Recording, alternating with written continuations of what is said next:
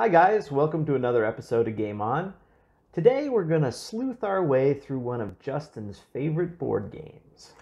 Ah, yes. Are you one of those people that can solve those NBC Nightline things within the first 10 minutes?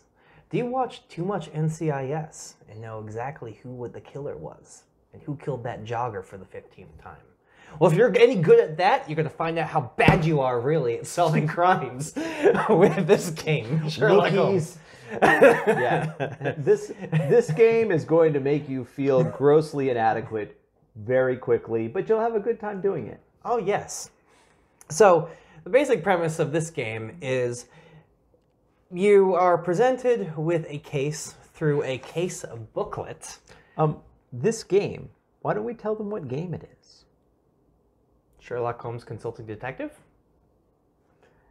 I He- thought we said that already. He, he says it with a question mark at the end, but it's a mystery. the, the, the first mystery to solve is what are we talking about? My apologies, everyone. I thought we said the name of the game already. Uh, no, uh, Sherlock Holmes Consulting Detective starts you out with a rules booklet where you are given basically the intro of a story. Unlike uh, a, unlike an RPG, this is a story-based game, but there is no DM or game master. It's basically almost a choose-your-own adventure, but it's really, really on rails for the most part. Yeah, I would say it's on several sets of rails. Um, there are story tracks that you work your way through. The order in which or which elements you you select are are pretty versatile. But yeah, within each story track, they are fairly linear. So basically, you're given a story that one of the players is going to read aloud. Nobody is really in charge. Is every you're all a group of investigators who works with Wiggins. If you're familiar at all with the uh, Sherlock Holmes uh, novels, and you're Wiggins and the Merry Men, um, and you're Not pro- Wiggins like gives you the creeps, Wiggins, but yes. yeah. Um, and and the thing that I would say about that is is having played this particular one, yes, um, you know, people read out elements in the story. Nobody knows anything more than anybody else at the start of the game in terms of how it's going to resolve. So everybody is discovering things at the same time. Yes, and basically at that point, uh, once the, it's done, once the intro paragraph is done, you're given a couple of clues, and then you're basically set out to figure out what is going on. And probably one of the best things that you can do before anything else is read the newspapers. There's a lot, a lot, a lot of reading in this game, um, which is not a bad thing, uh, but it it rewards reading comprehension and very detailed note taking and paying attention to what you consume. If you're a skimmer, uh-uh. ain't gonna work. because um, this is this specific uh, case. You know, this newspaper was from full five days before this case was. So this was on an earlier case.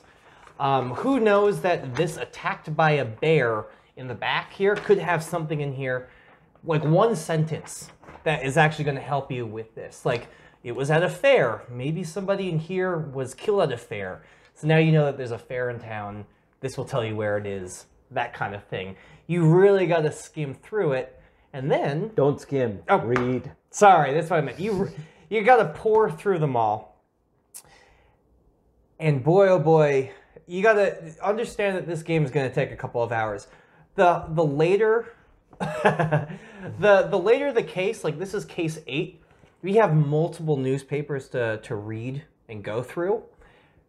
The good thing is is that you don't need to know any of the old cases to progress through to the new ones. So you can just pick up 5 and go with it. But that also means that you might have three or four newspapers, whereas with case one, you're always going to have one newspaper. So it's always good to start kind of light. Yeah, well, yeah, the the, the easier case, easier. Uh, the case that has less source material uh, means that you'll get to f- focus on your technique a little bit more and on the amount of reading and research a little bit less. So you you hone your skills when there's little less to work with, and then once you get better at recognizing what the important details might be in those stories, you'll have a couple under your belt so that when you're buried in source material, you have a better chance of finding what you need out of it. And uh, once you find a person or a location of interest, either through one of the clues that's given to you in the in the opening arguments, or the dossier. yeah, or even in the newspapers, let me under, I just I can't hit home enough that the newspapers are very important to understand and what's going on in the in the city of London. You get the nice London directory, which I will make sure to zoom in on in post, which has everybody in London, like A through Z. They, they almost literally give you a phone book in this game. Which, look, we're, we're kind of making fun of it, but it's actually really cool. The amount of effort and the amount of material that they pack into this game makes it very rich and very re- rewarding and very.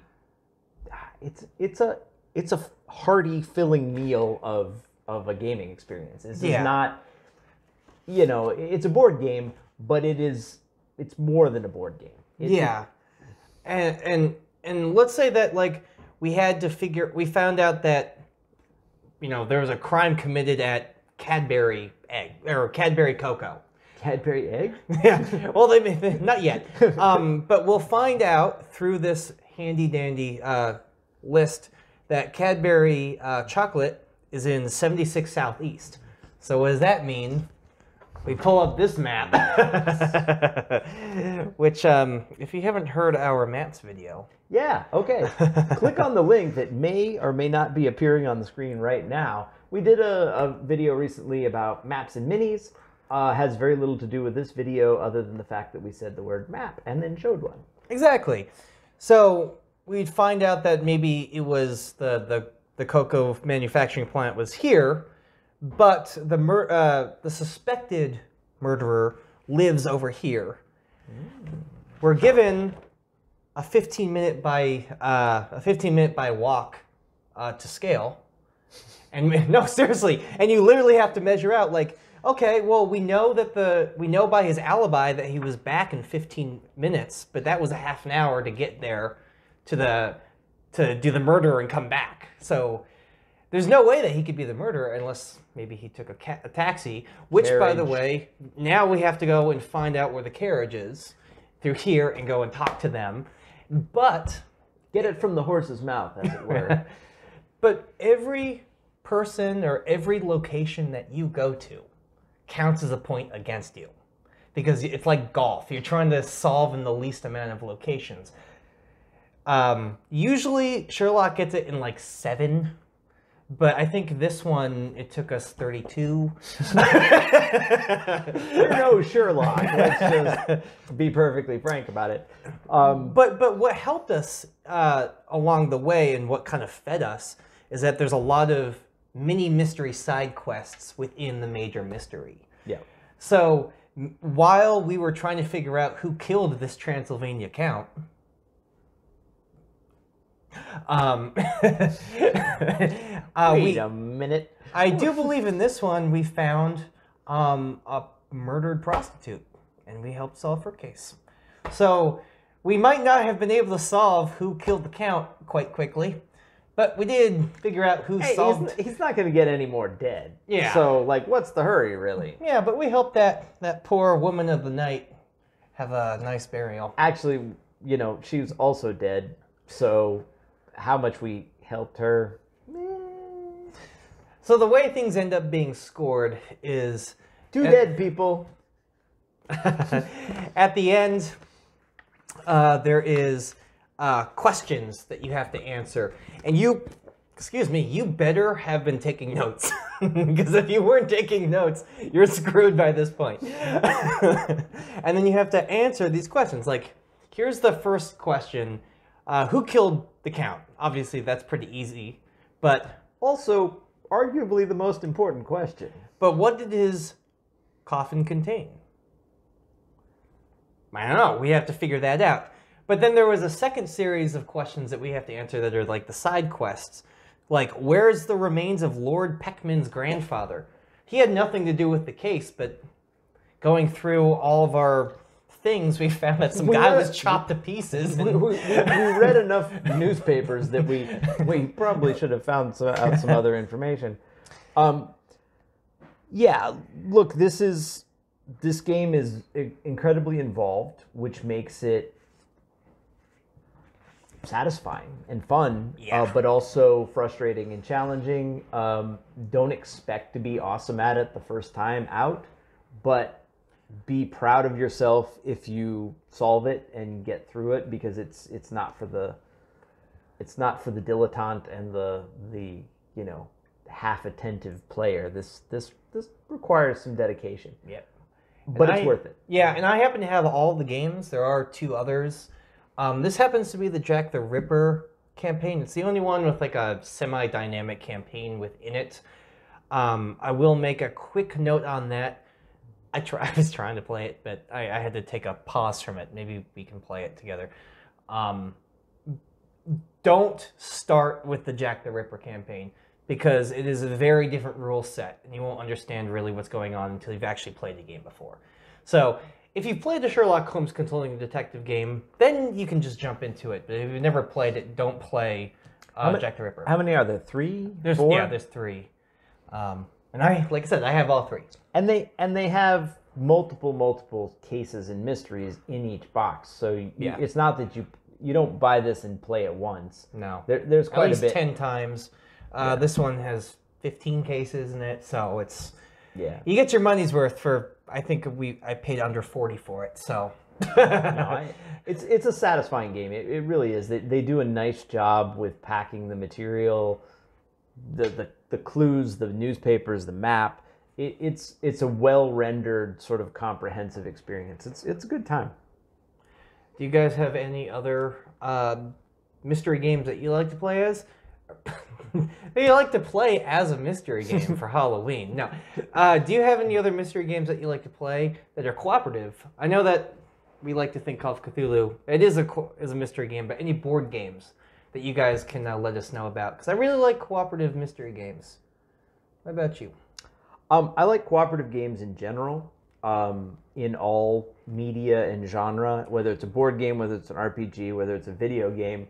I just I don't want to be playing against Yeah, other players. I don't like Um, either. generally, I, it's just not a satisfying experience for me personally. Um, not that there's anything wrong with it if other people do, but it just I don't. I got enough conflict in my life without finding new reasons to battle my friends. So um, this is fun because this works your brain. It, it pretty much guaranteed that one person is not going to figure out the whole thing. So you actually need to work with a team of people, and everybody needs to contribute and pull their weight and find elements to solving the story, which is is fun because it means that nobody gets left out. Everybody Exactly. is, is participating. Everybody's mind is very important. Yeah, no, it, it's good. It, it's well, it's a well developed, well designed game. I, I like it a lot. And I'm not the board game fanatic that Justin is, but this one, this one I had a lot of fun with. Yep. It makes you laugh, it makes you cry, it makes you cry some more. makes you cry a little bit more, and then you're done. And then you die. Makes you want to lunge across the table and shake somebody by the lapels sometimes, but it's cooperative. It really is. Yes. No, I, it, it's it's good. So don't forget to like, comment, and subscribe. and hopefully you actually play the game after we talk about it. Speaking Like of this. people getting their butt kicked, please give our, your comments uh, below on what you think of us. Um, yeah, uh, and and other board games of this type, or if you're interested, if you have suggestions, if you have questions, uh, if you want us to talk about the other uh, Sherlock games or other stuff on the wall here, because Justin's got a bunch. Although I guess the camera angle doesn't show as many of the board games because they're on the low shelves. But um, anyway, Thank love you to hear for from watching. you. Yeah, for sure. We talked at the same time. Game on!